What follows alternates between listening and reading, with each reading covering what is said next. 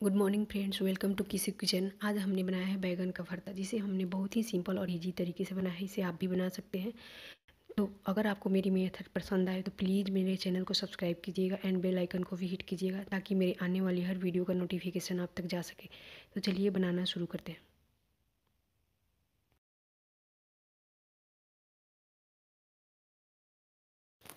बैगन भरता बनाने के लिए हमने यहाँ दो बैगन लिया है और इसको माइक्रोवेव में पका लिया। आप चाहें तो इसे चूल्हे या गैस पे भी पका सकते हैं, जैसी आपके पास फैसिलिटीज़ हो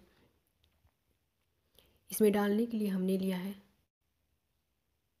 एक चॉप टमाटर, एक चॉप्ड ऑनियन थोड़ी सी मटर एंड दो रेड चिली जिसको हमने कट कर लिया है।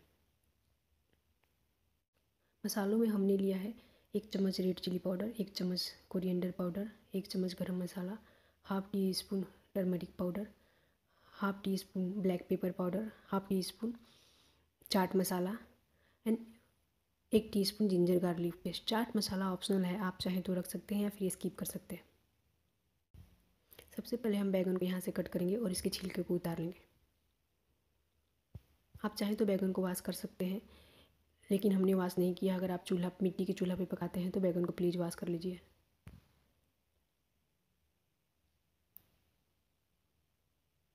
हमने यहाँ बैगन के छिलके को उतार लिया है। अब हम एक दूसरे बॉल में इसको मैश करेंगे। हम इस बॉल में इसको मैश करेंगे। आप चाहें तो इसे हाथ से भी मैश कर सकते हैं या हाथ से भी बहुत अच्छे से मैश हो जाता है। हम यहाँ बीच में देख रहे हैं कि बैगन अंदर से ख़राब तो नहीं है ना? लेकिन बैगन एकदम से ठीक है, ख़राब नहीं है। हमने यहाँ बैगन को मैश कर लिया है। अब हम आगे का प्रोसेस शुरू करते हैं। सबसे पहले हम एक पैन लेंगे, उसको गैस पे गरम करेंगे। पैन गरम हो चुका है, अब हम इसमें ऐड करेंगे तेल। हमने यहाँ दो चम्मच तेल लिया है, अब हम इसमें ऐड करेंगे जीरा। और इसको फ्राई करेंगे।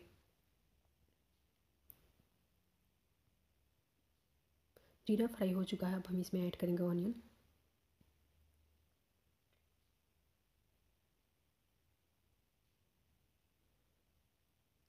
और पाँच मिनट तक मीडियम फ्लेम पे इसको हम फ्राई करेंगे। ऑनियन फ्राई हो चुका है, अब हम इसमें ऐड करेंगे मटर और ग्रीन चिल्ली।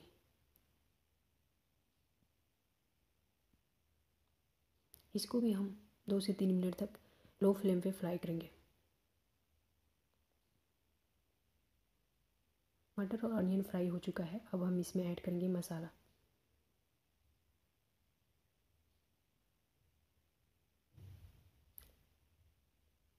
साथ ही हम इसमें ऐड करेंगे आधा गिलास पानी इन मसालों को अच्छे से पकाने के लिए।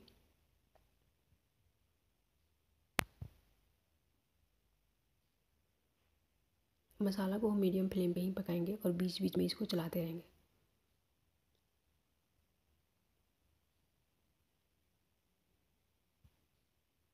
मसालों को हमने ढक के पकाया था ताकि छीटा इधर उधर नहीं जाए।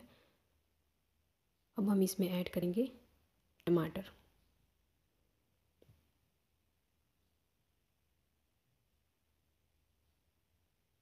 और इसको भी हम अच्छे से मिलाएँगे और इसको लो फ्लेम पे दो से तीन मिनट तक पकाएँगे।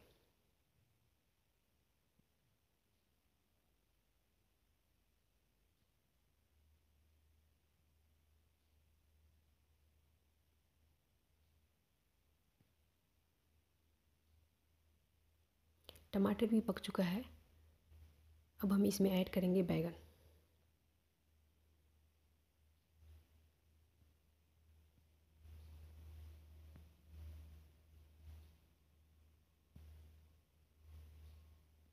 और इसको अच्छे से मिक्स कर देंगे। और इसको हम पाँच मिनट तक एकदम लो फ्लेम पे पकाएँगे। अब हम इसमें ऐड करेंगे नमक।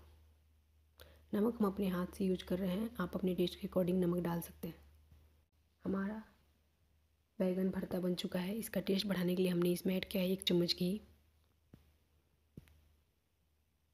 इसको दो मिनट तक हम ऐसे ही लो फ्लेम पे पकाएँगे।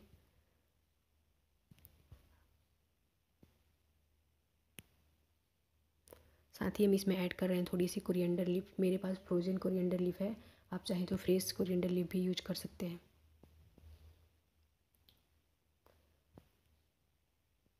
तो हमारा वैगन भरता एकदम से रेडी हो गया। अब हम गैस का फ्लेम ऑफ़ कर देते हैं और आपको सर्व करके दिखाते हैं।